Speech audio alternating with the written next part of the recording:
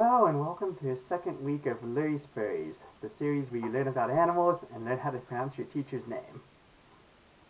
So, for this week's animal, we will once again approach, approach through the classification. So, we're in Kingdom Animalia, which is a feature about animals. Phylum Chordata, we have vertebrates once again. Class Mammalia, so today, just like last week's uh, black bear, today's Lurie's furry is a mammal, it's a furry creature, in fact. Order Carnivora, so once again, we're dealing with the mammals that, that eat meat. So family Mustelidae this time. So mustelids are our small, small and vicious hunters. Uh, the, the weasels, the badgers, the, the wolverines, and of course this week's animal, Mustela nigripes, the black-footed ferret.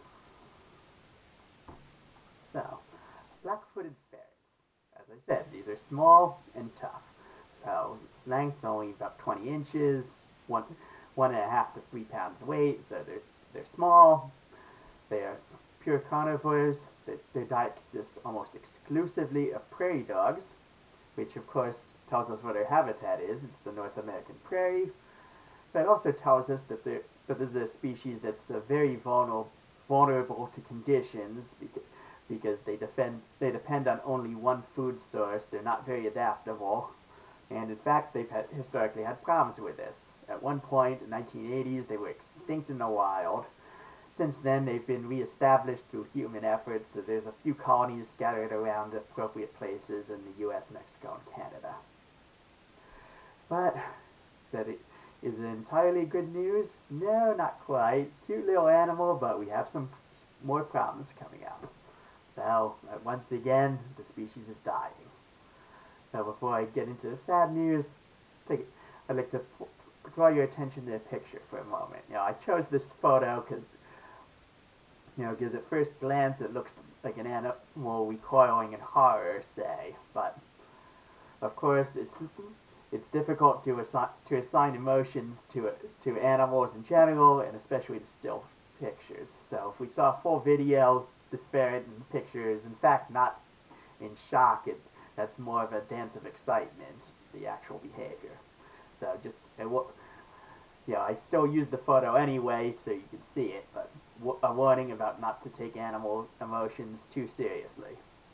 But now let's get to the sad news. So as I said, the, the ferrets are dying once again. The, the Blackfoot ferret population peaked from 2013. It was a is around 1,200 in the wild, which is still low. They were still endangered, but it's much worse now. They're down to around 300. And one reason that, that, that that's important these days is because, I mean, obviously extinction of any species is bad, but newsworthy feature is that this, this extinction is mainly down to an, epi an epidemic, and in fact to one of uh, his history's most infamous epidemics, Yersinia pestis, the plague. Yeah, the, sa the same disease that, that wiped out a good chunk of medieval Europe is wiping out the ferrets. And yet, and yet we haven't noticed it. It hasn't much been in the news because our human attention has all been focused on a different epidemic, COVID-19. But the ferret situation is much worse. They're, they're dying. The, the fatality rate for, for ferrets or or for that matter for their food, the prairie dogs, when either of those species catches the plague, it's near 100% mortality. So they're dying fast.